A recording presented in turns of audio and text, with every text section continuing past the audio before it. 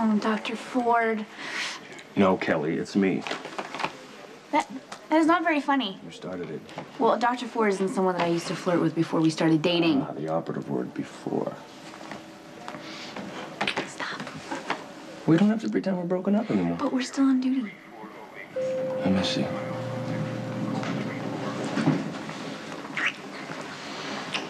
Damn. Patrick, if Dr. Ford saw you, he'd have you brought up before the board. Be everything you deserve. What, for unprofessional behavior? You think it's a little insensitive rubbing this in Emily's face? I- I'm fine. I actually owe Patrick for Nah, helping you don't and to Nikolas. defend my son, believe me. He was all over you when he split with Robin. Now he's just living down to his reputation. No, I- I owe Patrick more than I can ever repay. Nikolas came down with a mysterious illness. Um, no treatment worked, and his condition was deteriorating. So he was pushing me away to try to protect me from getting hurt. Sound familiar? Pushing people away, telling yourself it's for their own good? So where do you and Robin come in? Well, I was treating Nikolas, and uh, we decided to act like a couple so he could keep up his pretense with Emily. It also helped to explain why I was staying at Wyndemere. And Patrick didn't know anything about this? No, not at first. No, but then I decided to tell him the truth, and of course I explained everything. We worked together on Nikolas's illness. Came up with a cure. So thank you for your concern, but it, it all worked out. Well, I... Two things to say. Congratulations. And get into therapy. And you have room to talk. You know, you guys, you always bring your personal problems to work. Epiphany is always on you two about keeping your private and your professional lives separate. I agree. Get a clue. You could. You, me, Szechuan beef. Start of a perfect evening. You're such a romantic. Yeah, Chinese food brings it out of me. You know, we have to be more discreet.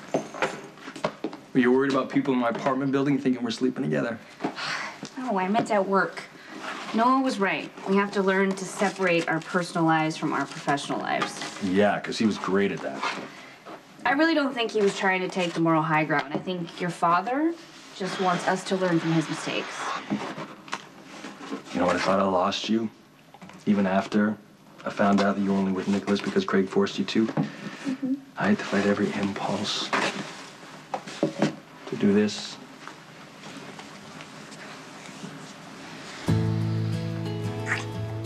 I couldn't stand it either. I fantasize about you all the time. Well, I fantasize about you when we're together. Well, I do, I do too, but I'm trying to make a point, so just go with it. Yes, ma'am. Okay. I have a really good idea about this personal versus professional thing. Yeah, what's that? Spend much more time away from work. Starting now. I like that.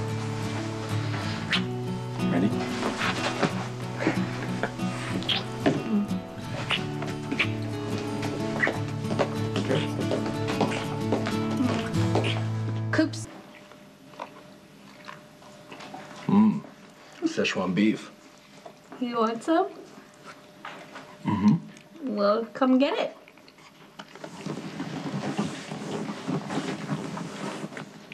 Open wide. Mm, that's good. That's good. Mm-hmm. Is it as good as? Not even close. Still pretty good though. you know, I've missed this. Being fed by me? Well, I used to like living alone, not having to answer to anybody, have my own place, everything exactly where I want it. Really? I, I, I hadn't noticed that at all.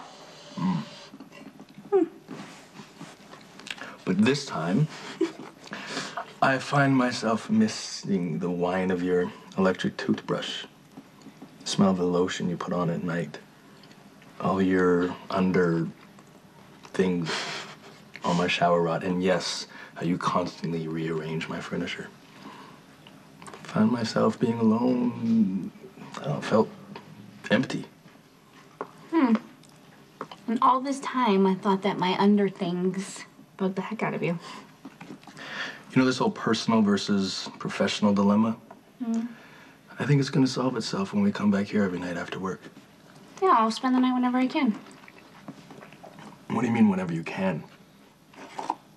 You know what? We really shouldn't discuss living arrangements. It's a bad topic for both of us. Well, it wouldn't be if you would agree to move back in and start again. I don't think our relationship could survive it.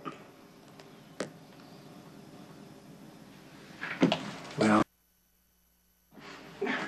We're together, we're happy. We have takeout. We don't have to be anywhere until 10 o'clock tomorrow morning. Isn't that enough? you're dodging.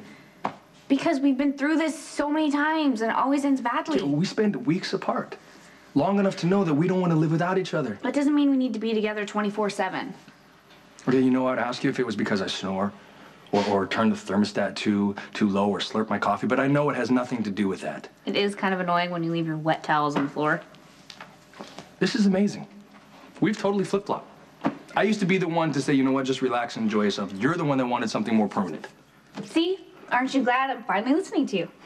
You're hiding.